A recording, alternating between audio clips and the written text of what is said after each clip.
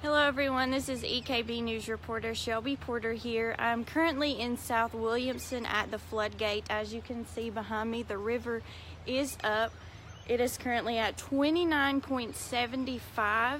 Um, I spoke with fish officials in Pike County and they say they are planning to close the floodgates here in South Williamson once it reaches about 35 or 36 inches. The flood stage is at 38, so they're planning beforehand, you know, to close the gates here in South Williamson. As I said earlier, it is currently at 29.75. It is not raining right now, so hopefully it doesn't continue to rain and we will stay at 29.75 but again, the flood stage is 38 and they are planning to close the floodgates here in South Williamson once it reaches 35 or 36.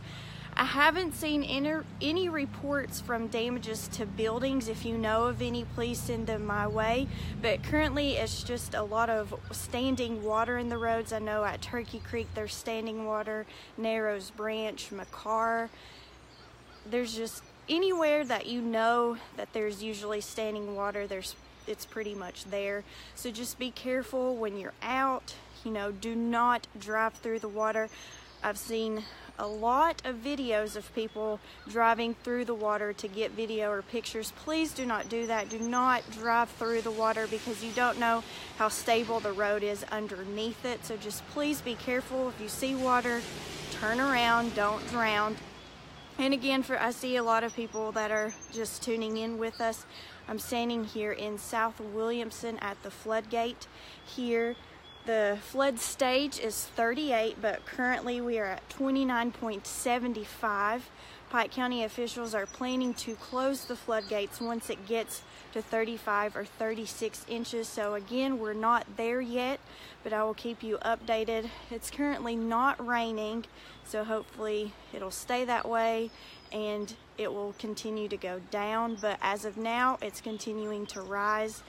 At 29.75. The flood stage is at 38 inches and we will close the floodgates here in South Williamson at 35 or 36 inches. So continue to stay here on EKB News Facebook page on the radio stations of East Kentucky Broadcasting and we'll keep you updated as quickly as possible and just continue to stay tuned with us and we'll update you with what we know.